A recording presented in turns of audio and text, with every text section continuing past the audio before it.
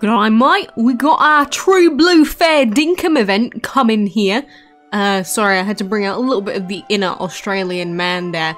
But anyway, we do have the brand new True Blue Castle event that has come to DML, and uh, disappointingly, it is a Chinese themed event, not an Australian one. But anyway, this is of course a sort of regular castle event. It's going to last 10 days, so a little over a week.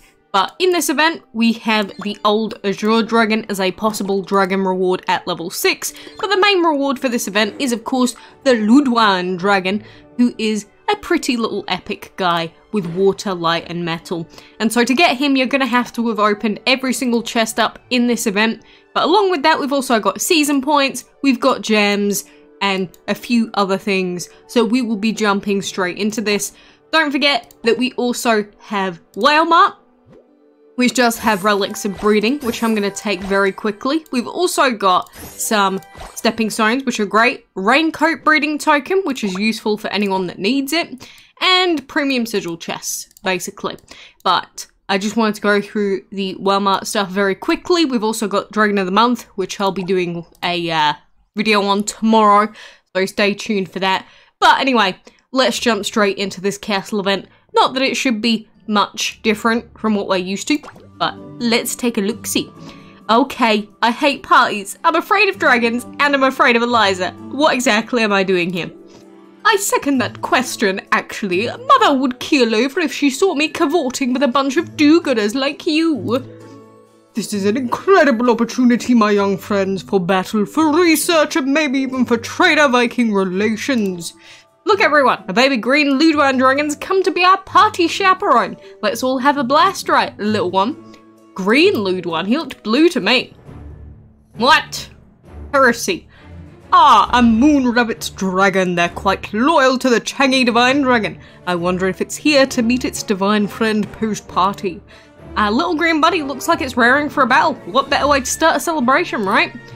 Strangely enough, we agree. Come, Aya, let's begin the festivities with a pulse-pounding battle.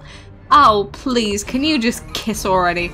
I know that Eliza is um, not noticing, but come on, Eliza, you need to do it. Uh, did I say Eliza? I meant Aya. I know Aya's ignoring you, Eliza, but you gotta push through. Thanks for a great first battle, everyone. I knew you'd have fun if you came along, Eliza. I'll admit, that got me into a festive mood. Lead the way, Dragon Girl. I trust your party instincts. Rule one, always let the woman go first. That way, they'll always be ahead of you. Um, hey, Aya, can I battle you next? Ha! Even the puppy wants to play. Don't tell me we're gonna have more, basically, uh, pyramiding as in uh, jealousy brewing in this event once again. When do we not have jealousy brewing between Ned and Eliza? It's just a constant, constant struggle, and I didn't mean to click that, by the way. But you'll see that, like all castle events, we've got a few different pathways that we can go down and it looks like this right hand side path is much much cheaper than that left hand side one just taking a quick look and we can obviously do the battles in this event at least on these early stages, because of course the further in we get, the fewer elements that we'll be able to use. So I'm curious to see what elements are going to be allowed on the final stages of this event. But our first chest opened has a singular piece of Luduan, so we're going to have to go the long way anyway. Chest number two, there is our key. A fine job, we found the pass in the next room of the castle. Come, I'm sure there's excitement on every floor. I can't wait to examine the different sorts of dragons that have gathered here. Very cool. Look at the boxes and jars piled up. Are we sure this is a party palace? It's more like a storehouse. Every party palace needs a storehouse, Ned. Where else would they keep their party hats and noisemakers? Good point. And, oh my goodness, there are lots of flowers. Many flowers. Is this a new map? Am I going insane or is this actually a brand new map? It looks like it to me. Am I going crazy? This looks like a brand new map to me. Weird, we don't get those very often in DML. But either way, we've got what looks to be quite a long set of pathways here. Like, that is a lot of chests, a lot of different pathways to go down. But we don't know which way is the cheapest yet. I do not have the maps open, you know, how we usually do it, where we upload the event maps into here for the castle events and things like that. We don't have the maps yet, so we can't calculate the cheapest pathways, but you can always keep updated and maybe people have some information early in our Discord server to update you on what the cheapest paths are so far. But we also need to go and collect our event currency for this event. So any new players, it's quite simple, we just got to do these quests at the bottom. And for any existing players that have done the Divine Event castles and things like that, it's exactly the same as it always is. So we've got to collect creatures, these silly little flying flowers, we need to remove them from the sky. We also have collecting gold, which is pretty self-explanatory. Just collect gold from your habitats. I'd normally collect it with my gold vault. And then collecting food, I would highly suggest that you put six hour food in, but you can also use the one hour squarey berry, I um, mean the spring cherries, but I mainly use squarey berries to keep up every six hours. However, as there is a reset in under an hour, I'm actually going to throw in- Can you stop moving, Screet? I'm going to throw in some spring cherries and then I'll come back in an hour, collect those, and then I'll start putting in my six hour food timers, and that should do me pretty well. So, along with that, we do of course also have the more annoying quest, which is the breeding quest. And generally speaking, it is better in the early levels to go with War Dragon because that keeps you at the exact amount of time that you need to come back to the game, same as you would with the six hour food, and it does give you all of the points early on. But again, if the event is an event where the amount of currency that we can collect goes up, then we'll have to swap which breeding combination we use. And again, that's all of the guides in that are in our Discord server in the event guides channel, so you can check those out if you want to. You don't have to, but it is in there and it is quite useful, especially for newer players that aren't used to these events. Feeding dragons, of course, we'll hatch our level 1 dragon, feed that bad boy up. Look at that big smoke dragon, immediately sell him, say goodbye, never to be seen again. And then finally we've got winning battles, which is also pretty self-explanatory. The thing to note is that you can also do arena battles and they will count towards your points for this. So if you don't have a lot of portal energy, say you haven't upgraded your portal very much because you're a silly goose, you can do some arena fights and get the event currency from that. But overall, that's how you can do every single quest in this event. Generally speaking, you could probably get all of them done in about five minutes, especially if you've got VIP auto win tickets to use.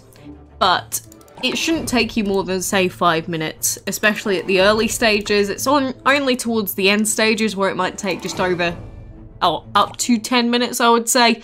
I've done it before where I've cleared out full resets with two minutes only because I woke up two minutes before a reset. So it is doable. Trust me, it is definitely doable. uh, past me knows very well. But anyway, now that we've collected a bit more currency, we can progress onto this terracotta dragon. Let's say hello. Oh, it's a sturdy terracotta dragon, no doubt here to help with heavy lifting. Let's give this beast a break, shall we? I'll try helping it battle against you, Aya. I mean, maybe I'll learn something? Neddy's just jealous. His little girlfriend likes battling me better. ah, she sort of dunked on herself calling her his girlfriend when she wishes it was her. That was terrifying. A fine job, my boy. Pay no heed to the naysayers. Gugh. Gugh. Angry noises. Alright, I'm not 100% sure what the cheapest path's gonna be here, but it does look like this one's quite cheap on the left-hand side, so I'm going to try this one. But generally, it is a better idea to uh, go through and uh, pick the paths that have more connecting chests, but not always the best option. But I'm just to go with this one for now. We got another singular piece of Luduan, and once again we will look for the key. But remember that the keys are random for everyone, so just because I find a key in a certain place does not mean that you're going to find it there. And uh, I guess that is the most common question that ever gets asked in this event. Where's the key? Where's the key? Where's the key, Quacks? It's it's random. Please don't ask me where the key is because it's random. I've been saying the same thing for years. It will never change because they never change how their castle event formula truly works. But that's it is important to get the key as quickly as possible, which is why we normally upload the guides. But because it is random, that's why you've got to try and pick out the cheapest paths first, so that then you have the highest chance with the lowest amount of currency of getting the key, if you know what I mean. But that is the True Blue Castle event with uh, all the possible rewards and such. It's mainly the gems. Like, getting 55 gems out of this event is actually not too- Actually, it's more than that. It's 60, isn't it? Including level 1. That's really not too bad. You know, 60 gems, it's okay. It's better than a lot of events have been. So, uh, I will take it. We do also, of course, have a new Dragon Master Pass. And in this Dragon Master Pass, we have Mr. Honeycomb. And, uh, the only thing is, obviously, he is pay only to get him because he's a legendary plant and earth dragon. But aside from that, the main things that we want to get out of our Dragon Master passes, especially if I'm not going to purchase premium, which I'm not, is going to be the premium sigil chest, the five extra den relics, if we can get up to there. I didn't even bother to get up to there last season, but another 31 days of season pass grinding to do which um, should be as boring as usual. But aside from that, the only other things to really take note of are any breeding blitz events, which right now we have the full dragon breeding blitz event, and to be able to breed the full dragon, we'd need the sun, which is the dragon of the month, and Luduan, which um is a, a big ask considering you need to get Luduan and the sun in less than 10 days and breed full in less than 10 days. So realistically, if you want to try and breed for the sun and then in turn the full dragon, you're gonna need two breeding dens. You're gonna need an extra den, otherwise I can't see a way how you can possibly do the breeding that you need for the castle event and also breed for the dragon of the month. So it is kinda kinda icky at the moment. It's like there's not really a good time to breed for him, but you know, I did go through some of the best combinations the other day, but I'll have a dedicated breeding guide out soon, like I always do. But for now, your main focus should probably be on finishing off the castle event if you want that new Luduan dragon. So remember, Dragon of the Month, you got a whole month to breed it. You don't have a whole month for Luduan. But I guess keep all of that in mind. Also, don't forget that we've got Dungeon, where we've still got our Underlord Dragon to get our hands on. It said that there was going to be the Underlord Dragon in the shop next week, but I'm not sure if I trust it yet. Yes, I'm very negative like that.